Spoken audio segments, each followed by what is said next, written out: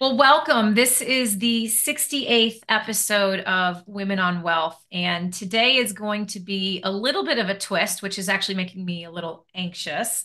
Uh, a couple of weeks ago, I, or a couple of episodes, excuse me, um, ago, I interviewed Jenn Grace, who is founder of Publish Your Purpose.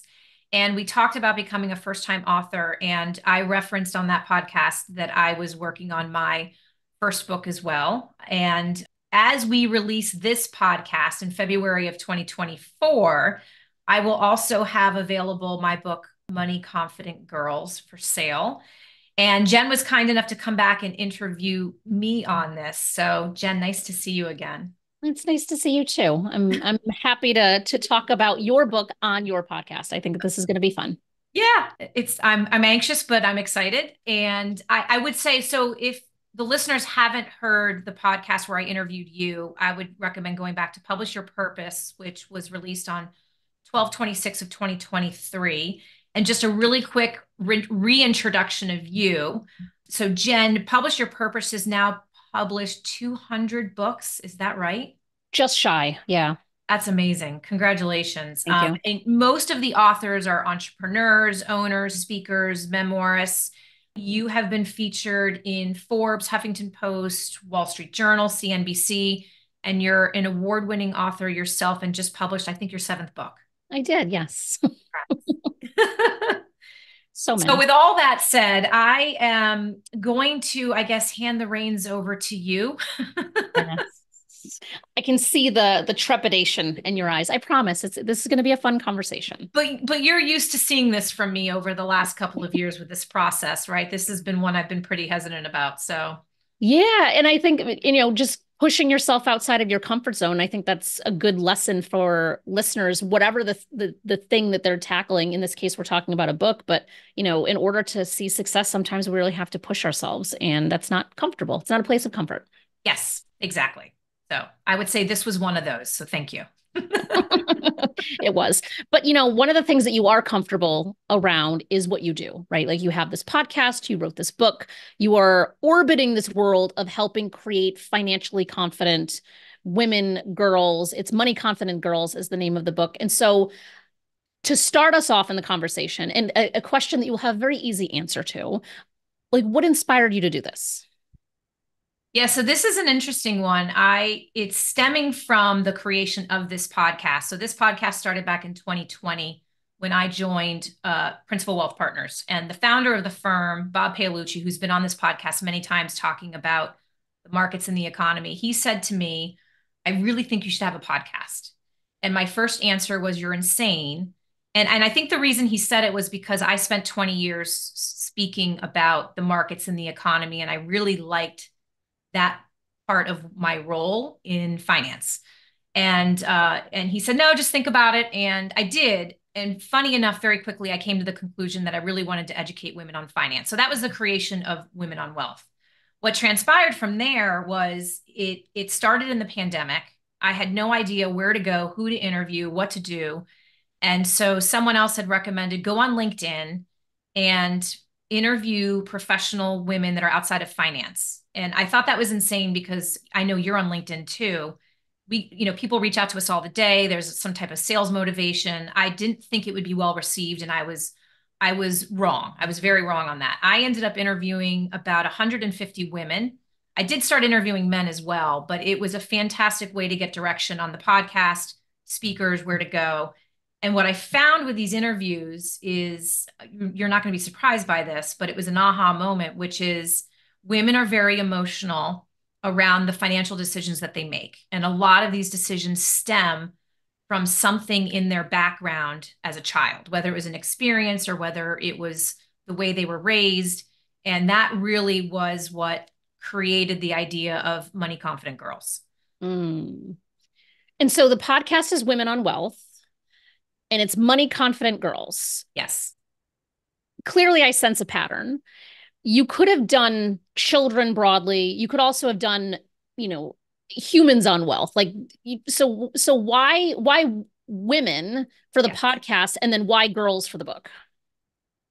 The women one for me was interesting with the podcast because in all of the years that I was educating uh, and running around the Northeast, and educating individuals about the markets, women constantly told me that that was not where they had confidence and that they were not the ones managing money. They were leaving it to their spouse. So for, for some reason, that was an easy decision for me. The book was completely different. I actually didn't start that way. I started with children in general. And I remember you telling our writing group that we needed to create some type of niche and we needed to focus on one, you know, think of one person. I remember you saying this. And candidly, I thought that was a little crazy. I couldn't I couldn't understand that. And and I kept thinking, no, that's not what I'm that's not the way I'm thinking. But in my writing group, when every time we got together and we were talking about what we were writing, the group very quickly said, Julina, you keep talking about girls. Mm-hmm. Um, and obviously, you know, I have two girls, so that that's one reason that I, I kept leaning that way. But I think the other reason that I did is because I really do truly believe women need to have more of a financial awareness um, than ever before. And I think the fir- first podcast I created was 90%. I will never go back and listen to it because I'm talking to myself. it sounds really cheesy to me, but the, the purpose of 90% is that 90% of women at one point in their life will be responsible for their own finances whether it's the death of a spouse whether it's a divorce and and most often that responsibility comes on them at a time when they least expect it and so that was that was kind of what drove me to i really want to focus on educating girls in particular. So and i'm sure i'll get some type of criticism for it. Candidly anyone any child it, it would resonate with but but to me i wanted to target girls. I was actually going to bring up that point is that when we think about books and we think about messaging broadly, like even the podcast, right? Women on Wealth, that very clearly speaks to who this is for rather than just being, it could just be on wealth right? Like that could be the name of, but like, what does that mean? Whereas Women on Wealth is just so much more clear. And same thing with Money Confident Girls. But anyone can listen to this podcast and anyone can read this book, yes. right? So there's such a benefit to that. Absolutely. I know men that listen to the podcast. I know ma- male financial advisors that listen to the podcast. And I think it's great. I even think it's great that they tell me that. But I think what the point you bring up is a very valid one. Yeah. And if we kind of like go back in time a little bit and just try to identify and I'm I'm sure you've discussed this on a podcast episode in the past but how you entered finance to begin with. And and like we kind of know the origin you know of starting at this new firm and saying okay I want to start a podcast. But how did you get into finance to to begin with? So I think there were two moments for me that almost happened back to back in, in my memory. Uh, and they were both around the time that I was going from high school to college. So the first was a conversation with my mom when we were applying for colleges and you think about the college process you need to you need to put down your parents income. And i remember my mom giving me the income and i was a little surprised to hear how much money she made. She was very successful in real estate. She spent a lot of time in pursuit of that career. And I, I made a comment to her and her response was well you need to make as much money as your husband in case you divorce him. And and as harsh i think as that was she did she did my parents did divorce actually several months later. So wow. it was certainly top of mind. And she will deny that she said this, but I remember that very clearly. And and mm-hmm. so you know, 50% of us, you know, in this in this country will divorce you know, with current rates, with the current um, excuse me, the current divorce rate. The second one happened right after, and it was my grandmother. And my grandmother, my grandparents were um, were very well to do in North Carolina. My grandfather was chief of staff for a hospital in Asheville. And she had no reason to really want to understand finance, but she knew she needed to. Mm-hmm. And she acknowledged that one day to me when we were cleaning out her office. I found this Rolodex, and she said, Your grandfather may pass away before I do, and I really need to understand the finances. Wow. And that really stuck with me. And he did. He passed away. He passed away um, many years before my grandmother. And I think those two together, you talk about what I just mentioned with the 90%, whether it's longevity or divorce, I don't realize I didn't realize how much of an impact that had on me, but I remember graduating college just thinking very adamantly, I need to be in finance. Mm. And it took me years later to figure out to figure out why. But I think that was, I think looking back, that was what it was. Wow. I feel like that's so powerful because I don't know that most of us can pinpoint an exact conversation or an exact moment where that shift or that aha happened. And it sounds like such a powerful lineage of women to, like in the case of your mother, just being a money confident woman, right? right. raising a money confident girl, but then thinking about your grandmother, just the self awareness yes. of knowing that this is something that she needed to to to be mindful of. Because i imagine this is a number of years ago. So like you add on like what's happening today versus 90s 80s 70s 60s like all very different scenarios. I think for me it's very easy to look back at late high school early college. To me it was a very emotional very emotional time. Your parents are getting divorced. You're you're trying to decide what you're doing with your life getting into college. The whole, i think that's the reason it really stuck with me. Mm, it's really powerful. And i would imagine correct me if i'm wrong but having these nuggets of wisdom gems if you will from a mother a grandmother a i think many people can't say that that's ever happened right because i think that you can speak to this and probably have episodes about this of like just the lack of financial education from parent to child which is yes clearly the crux of your book. But from a, a mindset standpoint, right? Because for you, that seed was planted and for others that seed isn't planted. So i would did that shift shape your mindset around how you looked at money even back then? That's a good question and i feel like after being in finance for 25 years i think the first 20 years i didn't realize how much i had emotions and habits that created my own financial decisions. Mm-hmm. It really has been over the last few years interviewing women and understanding how they think about it that I've begun to acknowledge that I had my own. And I think one of my one of my earliest memories, and my mom can't believe I still remember this, it was when I was six years old. We lived in South America and we did a two-week venture into the depths of the Amazon. We were on the border of three countries, no food, no water, everything was in our car.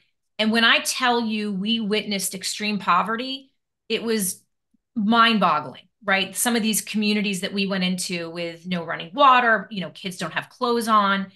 And I, for some, that really, really stuck with me. So when people talk about poverty, that's what I think of.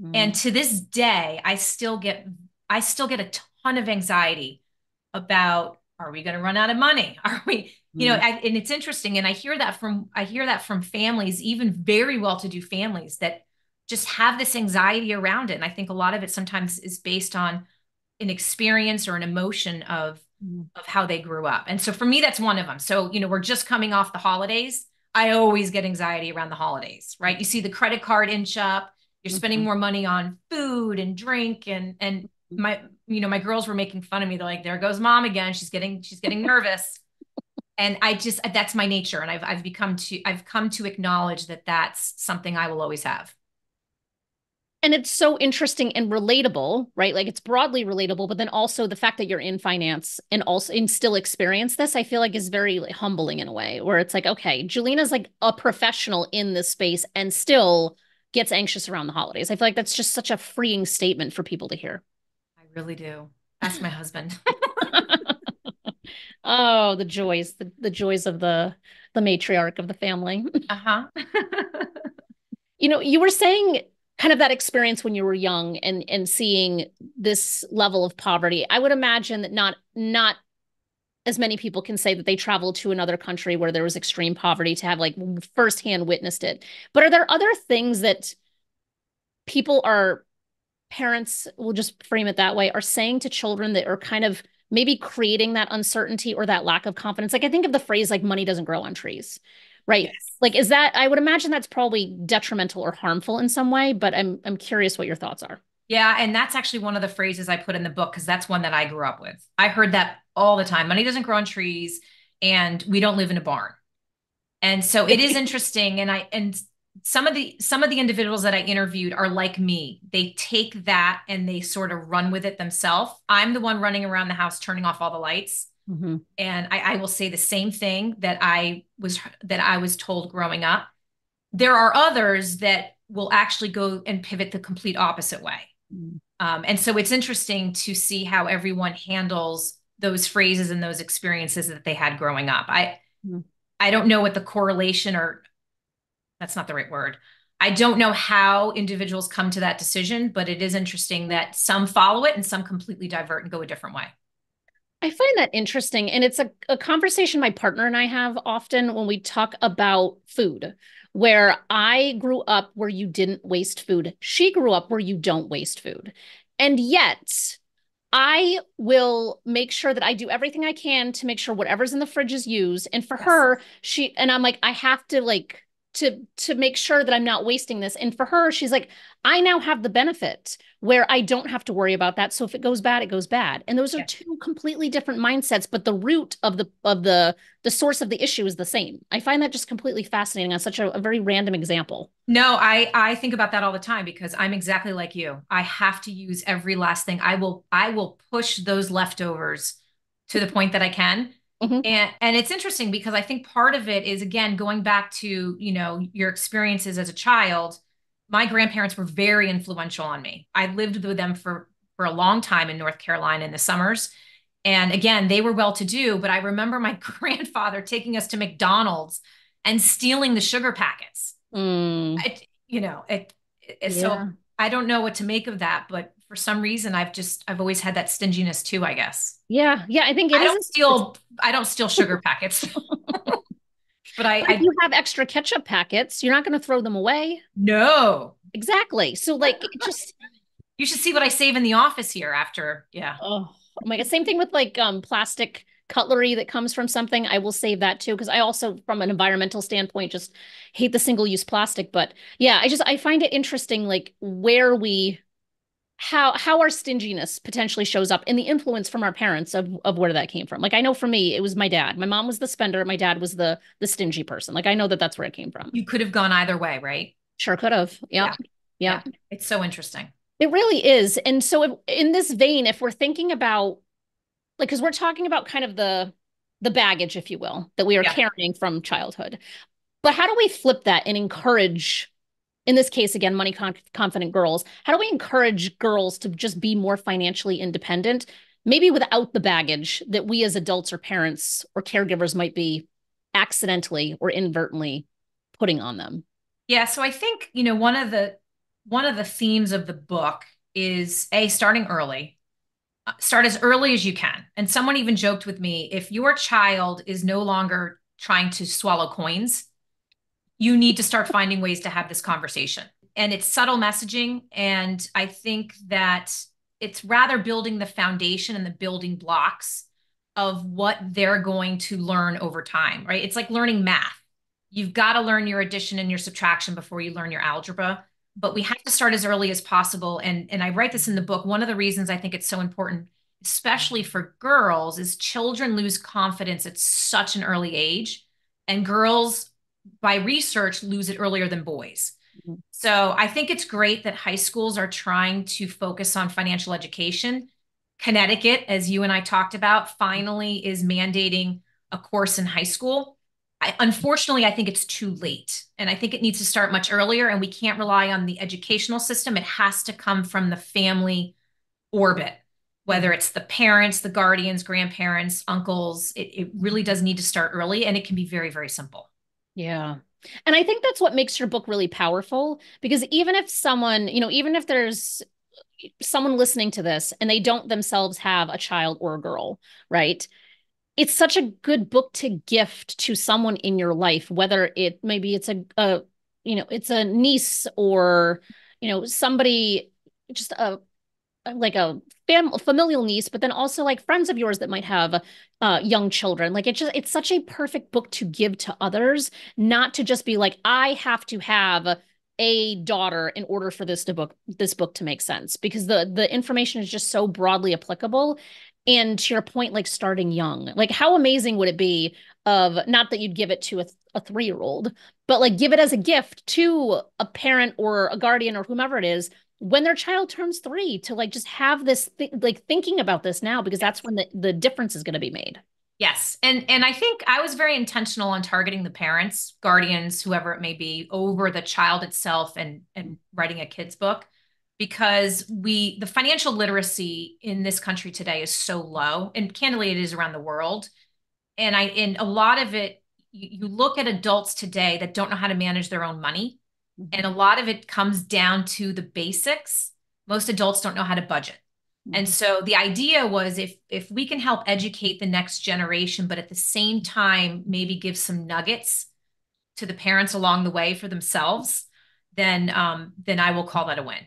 Yeah. Yeah, it definitely seems like there's lots of lots of opportunity here. And that kind of brings me into the idea of like strategies. So are there specific strategies when you're thinking about whether it's being mindful around your money or budgeting or whatever it is that are both relevant to the adult but then also to the to girls children a younger audience yeah so the three areas that i try to um, target in the book around the building blocks are your saving your spending and your investing so mm-hmm. those are the three that i kind of walk through specifically and you can go much further but again i wanted to keep it simple. So when you think of like spending it's you can teach a child at a very young age it's your wants versus your needs right? Do you need this or do you want this? And you can do that in a store. And eventually they will learn that you need to think of long-term goals versus immediate gratification. Mm-hmm. so that that's one idea. The other one is the power of saving and you know we talk about you know everyone has a piggy bank everyone gets a piggy bank at some point in their life or it could be another savings tool but that eventually turns into the idea of a budget. If you keep building on that block, right, you start to create and understand what does it mean to budget? How much are you allocating to saving versus spending, et cetera? And then the last one is is investing. And I try to put in the book some great examples from parents around how they tried to um, raise their kids and teach them about investing along the way because that's that's a tough one Mm-hmm. Uh, and I'm actually going through it personally myself with my girls. And so I try to share as many ideas as I can in the book that are not just mine. yeah. But, but I think those are the three powerful ones. Yeah. And it's such a simple, like there's such simple buckets to think about saving, spending, investing, right? However you define those things, they're very simple. Yes. This is, this is meant to be very, very simple. Mm-hmm. Anyone mm-hmm. can have this conversation early on and everyone should. Yeah. And so the saving and spending, I think, are the easier topics, right? Like that's, and like you were just saying, like even now you're trying to figure this out with your own family for the investing side. Yeah. So do you have specific advice for, again, parents, caregivers, whomever, with their daughters or children about investing and like wealth building? Yeah. So my example with what I'm going through personally with myself, I have an investment account for both of my girls. And they're not managing it, but I did want them to start to have ownership and understand what that looks like in that investment account. So I asked each of them if you could pick one company that you really like that you believe will continue to grow over time what would it what would that be mm. so my younger one chose amazon mm-hmm. and she's and this was the pandemic mom amazon is at our front door every day and so that's great. So I bought her some Amazon and I I'm trying this is the struggle I'm having now because the interest is candidly not there and mm-hmm. every child is different, but I just want to keep nudging mm-hmm. and show her that that price goes up and down mm-hmm. over time, but that she starts to understand that that's how a stock moves over time. You have yeah. this volatility along the way and so that was my way of introducing it, but there are some interesting stories in there of, of how others did it as well. Mm. Yeah. Yeah. Cause I feel like the lack of interest, like that, that definitely is a hurdle. But yeah. at some point later in life, she will thank you. It's just, it might be a while. Exactly. And I want, I want her, I am fine with her being frustrated at this point mm-hmm. in the hopes that going forward, when she finally has a moment, she goes, okay, now I got it. Mm-hmm. Right. And I remember going through that with my own father. He taught me how to balance a check checkbook Mm-hmm. And I remember being being so frustrated at the kitchen counter that he was making me sit down and go through this. You will make fun of me, but I still balance my checkbook to this day. Mm. I still have to physically write everything out because that turned into be such a powerful habit for me. And so, but again, I I was not appreciative of it at the time. Yeah.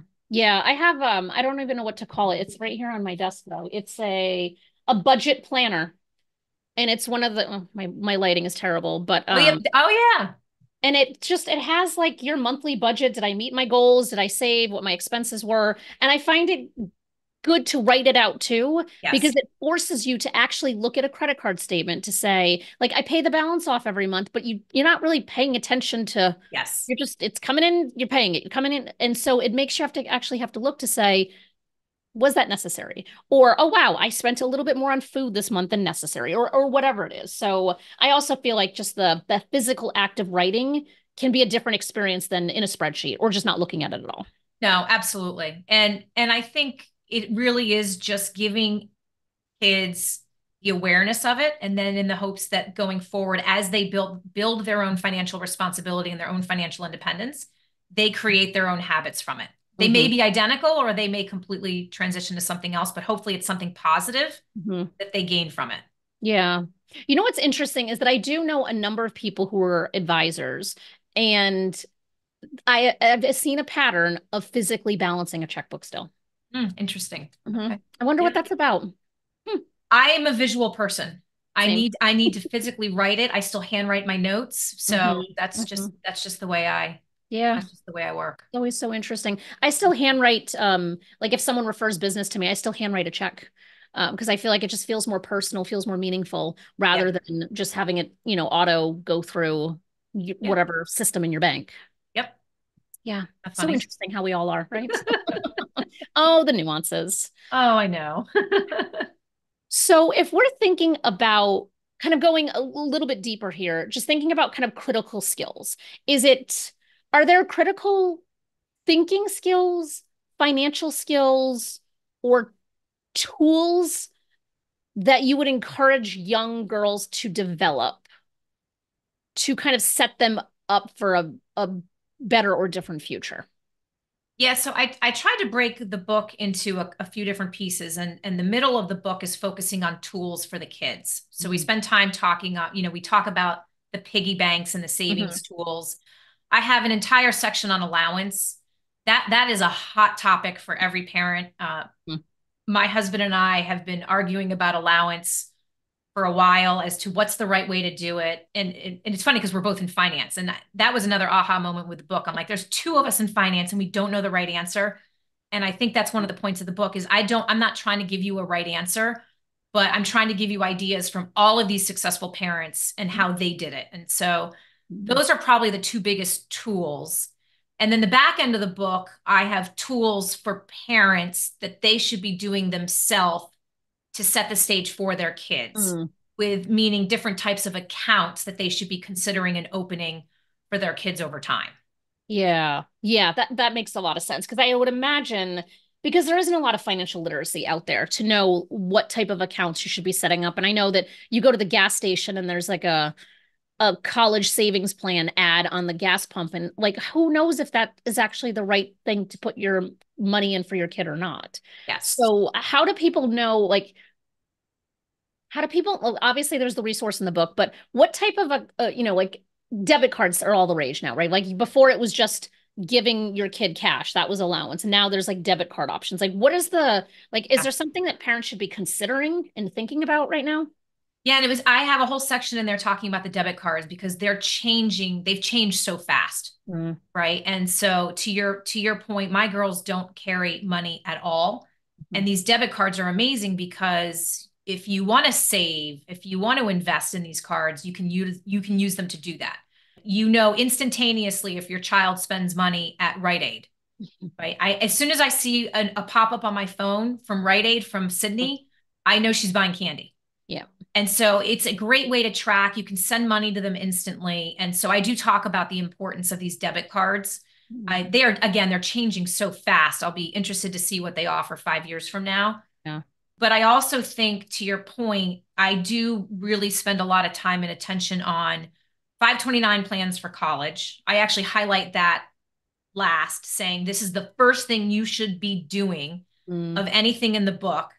Which, um, if you think about it, you have a child.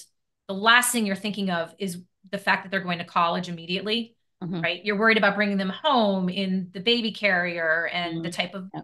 diapers, et cetera. The 529 has to be instant. And so Mm. when I talk about the importance of letting that money grow tax deferred Yeah. for 17, 18 years and what that can do, Mm-hmm. Um, but I do also highlight custodial accounts and um, and believe it or not, Roth IRA as well. Those are a few others that I think have surprised people that are in the book.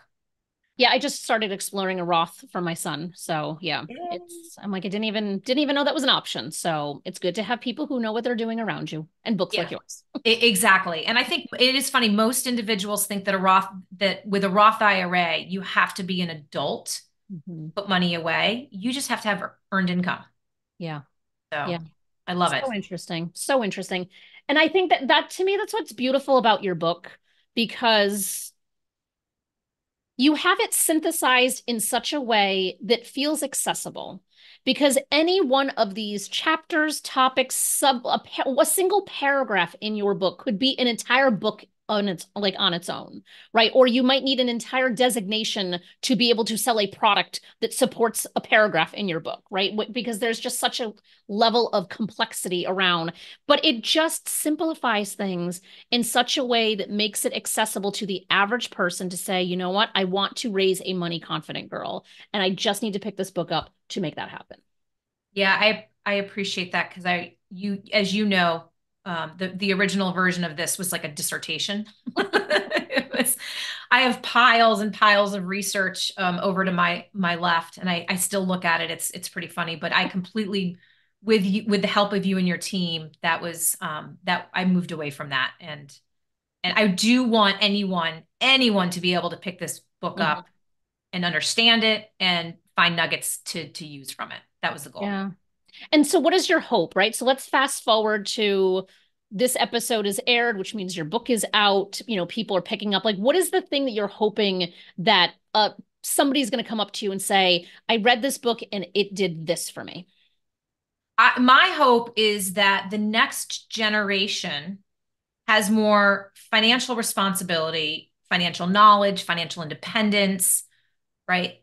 Than our generation and the ones ahead of us and that ultimately that creates confidence mm-hmm. confidence in general and just confidence that they can live their life they can make independent decisions they know what they're doing and that they can end up in retirement doing what they want to do and they can do it with confidence because that's something i do not find very often in this role and again it it can be anyone with any amount of money Mm-hmm. The lack of confidence that I find is very frustrating and unsettling. And I would love to see the next generation handle that much better.